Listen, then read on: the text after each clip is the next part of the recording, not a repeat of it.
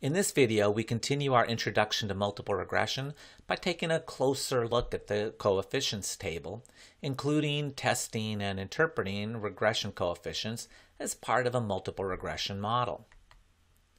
So, what does the coefficients table tell us? Well, we have a column labeled model that indicates this is model number one. To begin, we'll just look at one regression model at a time but later we'll see that we can examine several models in a single comprehensive analysis. We then have a list of the variables in our model, and remember that the constant is just another term for the intercept. We then have the values for the unstandardized regression coefficients for each of the predictors, plus the intercept, and these are the values for our B0, B1, etc. Next to the unstandardized regression coefficient is the standard error for that regression coefficient, which is then followed by the standardized regression coefficient, or the beta. We then have the t-test for each regression coefficient. And remember, that's calculated by dividing the unstandardized regression coefficient by the standard error of the regression coefficient. So for example, if we look at school quality, the unstandardized regression coefficient was 0.066, and the standard error for the regression coefficient was 0.017. If we divide 0.066 by 0.017, we get 3.821. yes, I know if you're following along at home and divided 0.066 by 0.017, you get a slightly different number, but that's due to both 0.066 and 0.017 being rounded to three decimal places. If you use non-rounded values, you get exactly 3.821. Trust me, okay? And um, we see then that the t-test for the school quality effect is in fact equal to 3.821. Now finally, we have the p-value for each of the regression coefficients. Note that the coefficients table does not include the degrees of freedom for the t-tests of the regression coefficients. I don't know why, but fortunately it's the same value as the residual degrees of freedom in the ANOVA table, which is 397 for this example. So based on the coefficients table, writing the regression equation is fairly straightforward. y hat, our predicted outcome, grades, is equal to b0 plus b1 times our first x, our first predictor. In this case, that's school quality, plus b2 times x2, our second predictor, which is study hours. We then plug in values for b0, b1, and b2 based on the results in the coefficient table. b0 is equal to 1.04, so we enter that B1, the effective school quality is equal to 0.066, so we'll enter that. And B2, the effect for study hours, is equal to 0.057. Now this is our regression equation. This is what we use to predict scores on the outcome based on participate uh, based on the participants' values on these predictor variables. For example, if a student attended a school with a quality score of 9 and they studied 12 hours per week, their predicted grades would be 1.040 plus 0.066 times 9 plus 0.057 times 12 or 2.318. Tough school. But again, this is made up data. Now, while we're here, we can also look at the t-test to determine whether the effect of school quality and study hours is statistically significant or not equal to zero. The t-test for the intercept term was equal to 6.437 while the t-test for the school quality effect was 3.821 and the t-test for study hours was 3.483. All of these t-tests have 397 degrees of freedom, which remember we got from the residual degrees of freedom in the ANOVA table.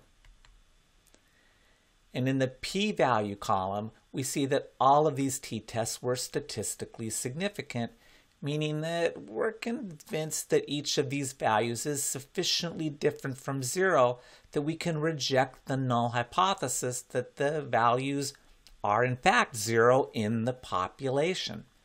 We can reject the null hypothesis that they have no effect in the population. In other words, if the size of these effects in the population was in fact equal to zero, if nothing was happening, it's so unlikely that we would see regression coefficients this large in our sample that we conclude their values in the population can't be zero. Well, it's highly unlikely to be zero. For example, the p equal to 0.001 for study hours tells us that if the effect of study hours was truly zero in the population, the probability is only 0.001 that we would have randomly ended up with a sample that had an effect this large, b equals 0.057, or larger. That's only one tenth of 1% of the time. We're just not that lucky to randomly stumble on that type of a sample. Now, you may ask yourself, well, that's the t-test for the unstandardized regression coefficient. What about the standardized regression coefficient?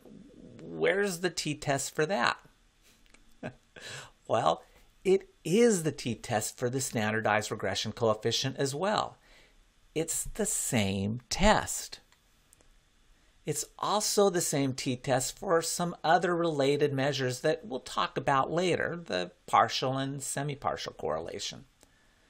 That one t-test is the same t-test for all of those effects. It's kind of like the Costco of statistical analyses. Since you can literally buy everything you need from birth to death. Oh my God. It does everything. But if you think about it for a moment, that's not too surprising. For example, the standardized and unstandardized regression coefficients are both measuring the same thing the strength and direction of the association between a specific predictor and the outcome, controlling for all of the other predictors in the model. They're just based on different metrics the raw units for the unstandardized coefficient and standard deviations or z scores for the standardized coefficient. So if it's statistically significant for one, it's just as statistically significant for the other. Now, when we talk about the results, there are specific ways we need to report the analyses and specific language we need to use in order to be precise and accurate. Let's use the school quality variable as an example. When you report the results, you need to include the regression coefficient and the t-test results, including the degrees of freedom and the p-value. Specifically, you'd report this as b equals 0.066, t with the degrees of freedom, 397, in parentheses, equals 3.821, and p is less than 0.001. Now, don't forget to include the degrees of freedom with your test statistic. You always need to include the degrees of freedom. It's vital information that allows the reader to potentially check your results. More than once, I've reviewed papers for journals where the degrees of freedom told me that the author had done something wrong. Their degrees of freedom were either impossibly large or ridiculously small, which at best says there's a problem with their data or sample.